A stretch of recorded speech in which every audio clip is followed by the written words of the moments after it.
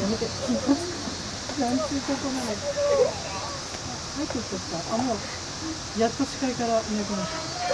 これで野球に集中できますね。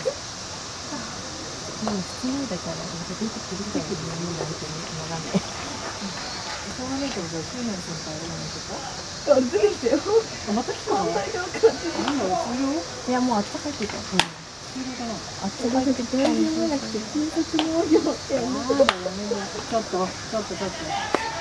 漢字苦手だ。気にしとった。え、あの時さ、小学生でしょ何年前もう5年前だよ。小学生だよ。友達ルームだったんだよ。